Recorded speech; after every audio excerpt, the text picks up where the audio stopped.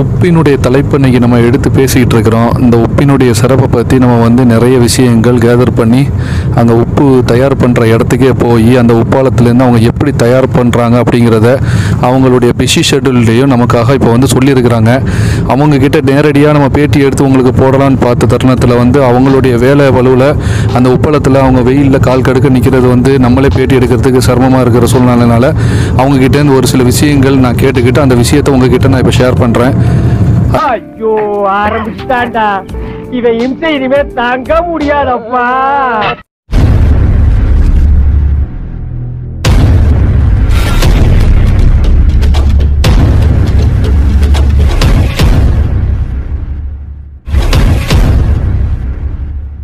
அதில் முதல் விஷயம் என்னன்னு சொன்ன அன்னைக்கு தெப்பம். அவங்க தெப்பம் கட்டுறாங்க. அந்த தெப்பத்தில் வந்து முதல்ல மண் வந்து போடுறாங்க. சாதாரண மண் ஒரு குறிப்பிட்ட ஸ்டேஜ் ஒரு நாலு இன்ச்சு கணக்கு வச்சுக்கிறாங்க. அந்த மண் போட்டுட்டு அதுக்கு மேலே வந்து களிமண்ணை போட்டு நல்ல ஆட்களை விட்டு மிதிக்க விடுறாங்க.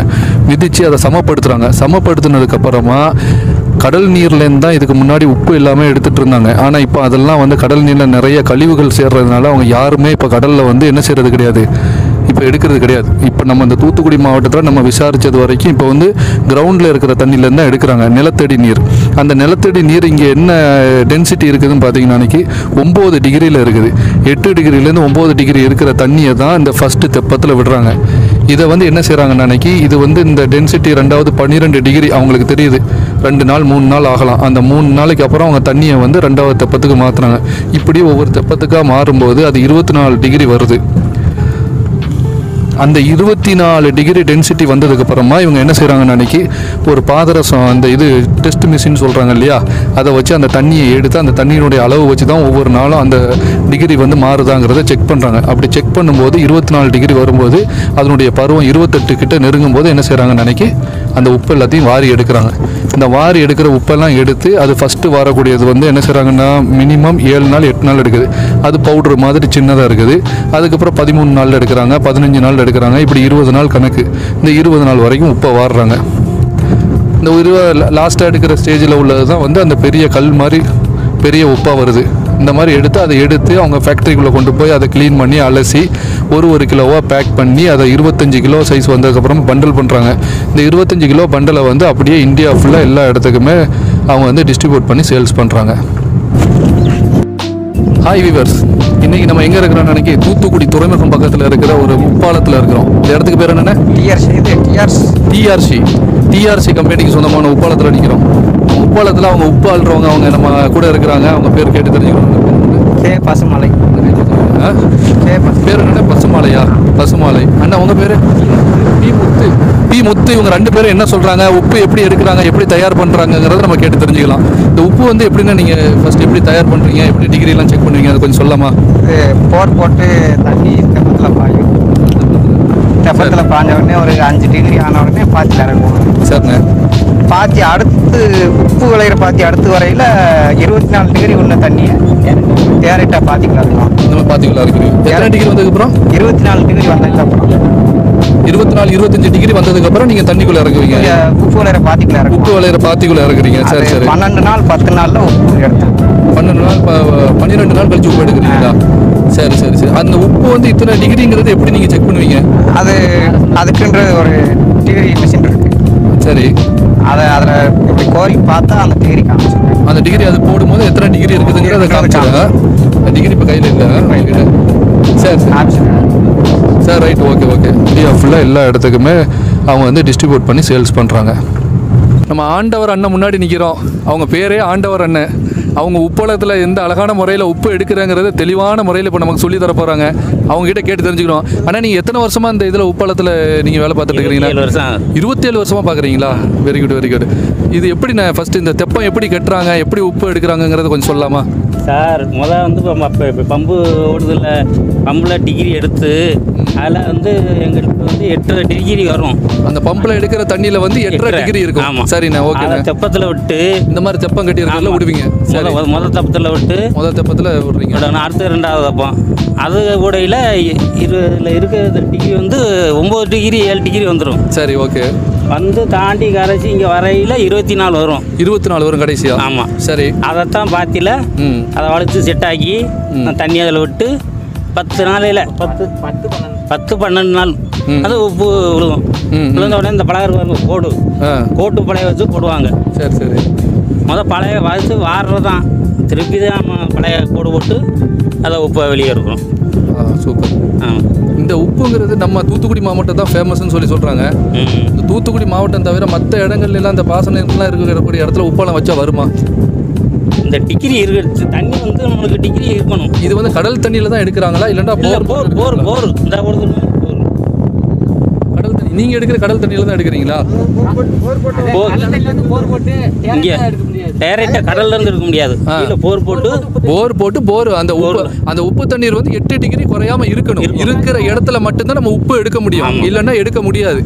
Correct correct okay okay thank you thank you sir. நான் இந்த தெப்பம் எப்படின்னா கட்டுறீங்க? இந்த தெப்பம் வந்து எப்படி நீங்க அதாவது தெப்ப அமைப்புன்னு ஒன்று சொல்லுவாங்க இல்லையா. அந்த அமைப்பு எப்படி தயார் பண்றாங்க? ஆரம்பிக்கையில் பாத்தியா பொடி நாலு பக்கமும் கெட்டுறது ஆ சரி. கவர் அளந்து இத்தனை இது ப வந்து இப்ப சொல்லி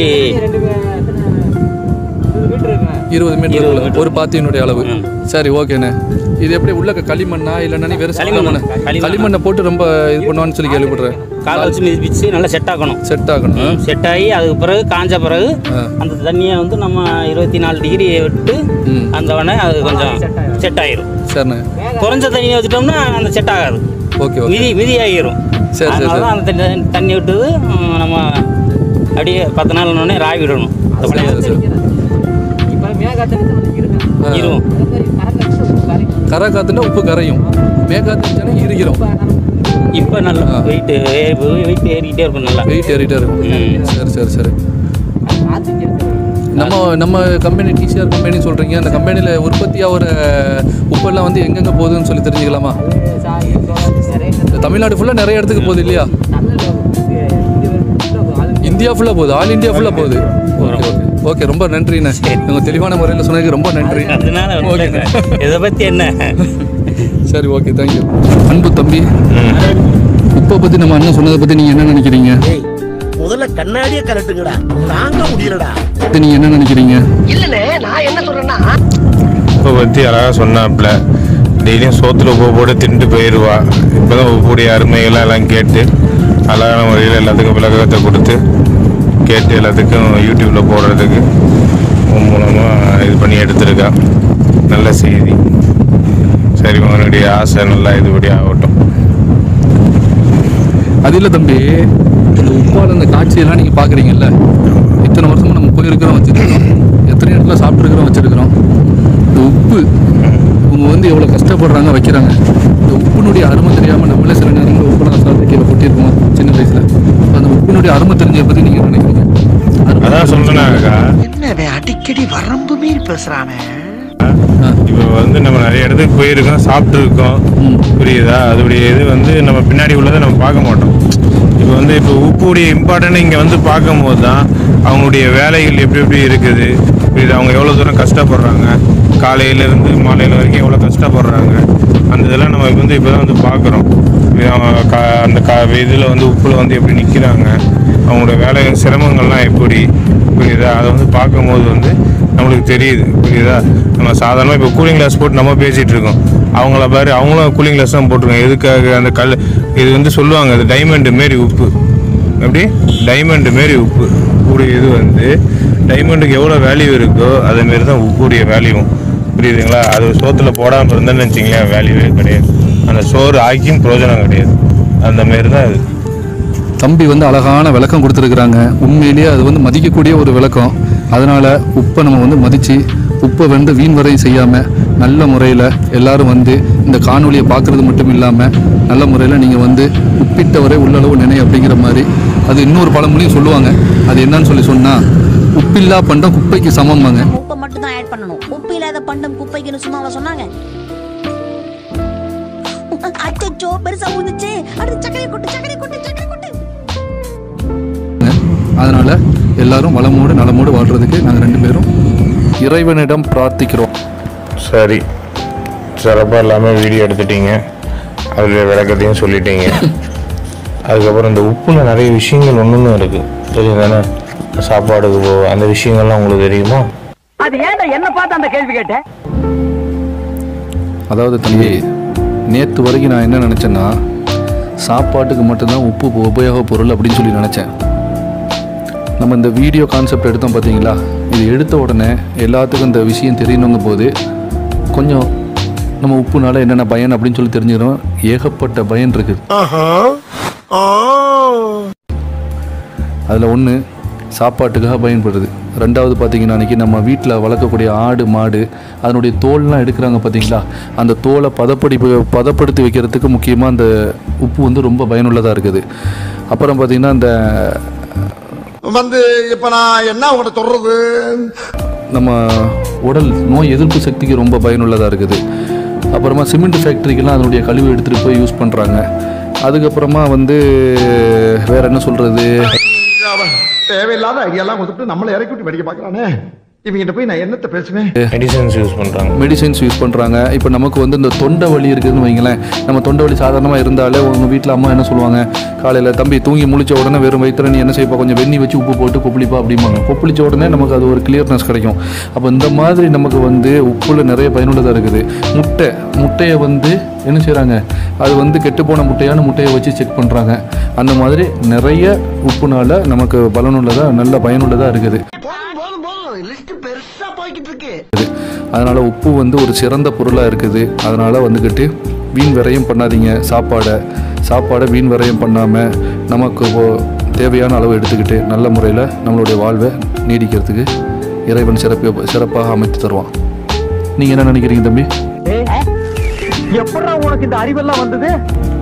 ஆமாம் நல்ல இது எல்லோரும் வந்து உப்பை கரெக்டாக யூஸ் பண்ணுங்கள் உப்பை வந்து அதிகமாக போட்டாலும் நம்மளுக்கு வந்து வேஸ்ட்டு தான்.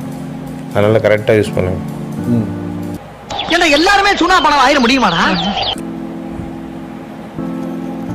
ஓகே வீவர்ஸ் இன்றைக்கி இந்த வீடியோ உங்களுக்கு பிடிச்சிருந்தா லைக் பண்ணுங்கள் கமெண்ட் பண்ணுங்கள் மறக்காமல் சப்ஸ்கிரைப் பண்ணாதவங்க பண்ணிடுங்க